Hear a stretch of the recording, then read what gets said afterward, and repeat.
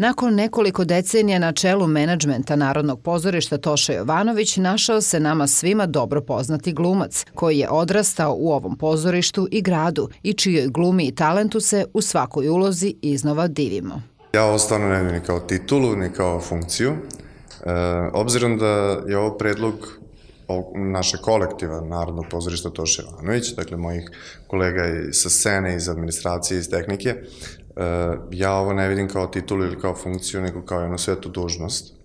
I shodno tome ću se i ponašati kao prema svetoj dužnosti, zato što e, ja sam odabrao ovaj grad, da živim u njemu i posle završenog fakulteta. Ovo je pozorište u kome sam ja napravio prve korake još u osnovnoj školi kroz dramski studio, kao statista, još, pa na studi, u periodu studiranja sam prve uloge počeo da dobijam ovde i nekako sam srastao sa ovim pozorištem i sa ovim gradom. Tako da e, veliku zahvalnost dugujem i svojim, svojim, svom kolektivu koji me predložio, a i veliku zahvalnost lokalnoj samoupravi na čelu sa gradonačnikom koja je tu ideju podržala. Šta ti onako već sad vidiš da bi, da bi najpre menjao?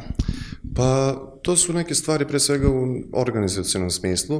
E, ja ono na čemu sam insistirao sa svojim, kod svojih saradnika čim sam preuzeo ovu dužnost, to je da moramo imati plan sezone na kraju prethodne.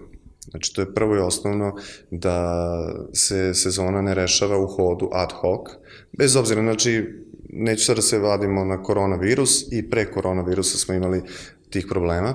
Znači, prvo to. Zatim, e, angažovanje svih ljudi na ansamblu, pažnjevo biranje komada koji se rade shodno afinitetima i mogućnostima naših glumaca, zato što mi pre svega moramo da brinemo o našim glumcima i moramo da mislimo o tome da podmladimo ansambl.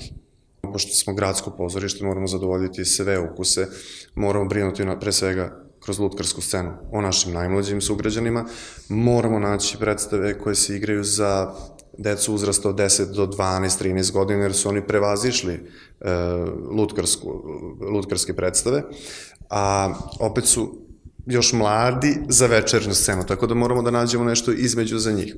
E, moramo birati lektire, moramo imati jaku komediju, moramo imati dobro klasika, dramu, mm, moramo imati dobre festivalske predstave.